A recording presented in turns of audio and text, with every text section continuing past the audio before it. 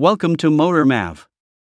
Today we are going to discuss about what will happen if we mix 1 gallon of gas with 32 gallons of diesel. If we put gas into a diesel engine, then it can cause trouble like damaging shock waves, engines, fuel pumps and injectors. Gas is solvent and diesel is oil. By mixing them, you can put your vehicle to danger.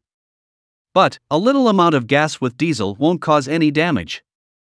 According to researchers, a small amount of 1% gas can lower the diesel flashpoint by 18 degrees Celsius.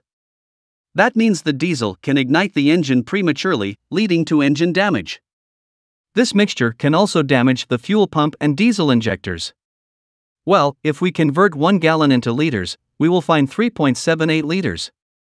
That means 32 gallons of diesel will be around 121 liters after the conversion, and 3.78 liters of gas is more than 3% of 121 liters of diesel. Hence, it's evident that you can't use 1 gallon of gas in 32 gallons of diesel engine because, according to the statement, using 1% of gas can damage your diesel engine. If your vehicle has a big diesel fuel tank of 100 gallons, it won't cause severe damage after pouring 1 gallon of gas. The average cost of a gallon of gas in US is under $6. After all, we recommend not to use gasoline in diesel cars, and even if you intend to use gasoline, try to pour a small amount of less than 1% of gas into your diesel tank to avoid any danger. Thanks for watching. Please like and share our video. See you soon. Till then, goodbye.